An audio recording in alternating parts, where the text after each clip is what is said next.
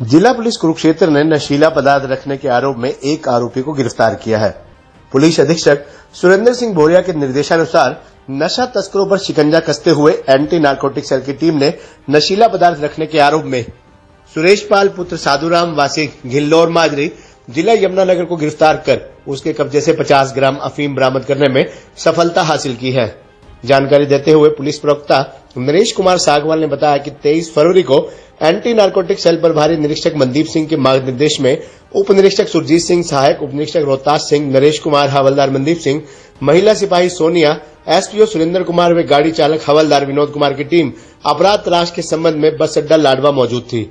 Police team को गुप्त सूचना मिली कि सुरेश पाल पुत्र साधुराम वासी घिल्ला माधुरी जिला यमुनानगर अफीम बेचने का काम करता है। आज भी वह अपनी दुकान से इंद्री चौक लाडवा पर चलते फिरते ग्राहकों को अफीम बेचने के लिए पैदल पैदल आएगा।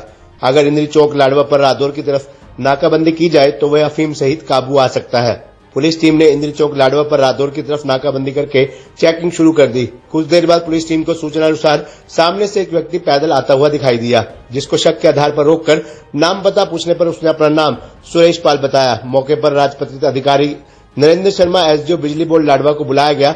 राजपत्रित अधिकारी के सामने उसकी तलाशी लेने पर उसके कब्जे से 50 ग्राम अफीम बरामद हुई। आरोपी के विरुद्ध थाना लाडवा में मामला दर्ज करके आरोपी को गिरफ़्तार कर लिया गया। आरोपी को माननीय अदालत में पेश किया गया।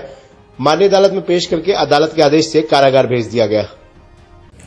ये हमारे एसपी साहब श्री सुरेंद्र सिंह बोरिया, आईपीएस एसपी कुरुक्षेत्र व एडिशनल एसपी श्री करण सिंह गोयल जी के दिशा निर्देशानुसार उनके मार्गदर्शन में कुरुक्षेत्र में नशे की रोकथाम के लिए लगातार कार्य किया जा रहा है और उसी कड़ी में कल हमारी एनसी की टीम को सूचना मिली थी कि सुरेश कुमार वासी गिलोर अफीम बेचने काम करता है।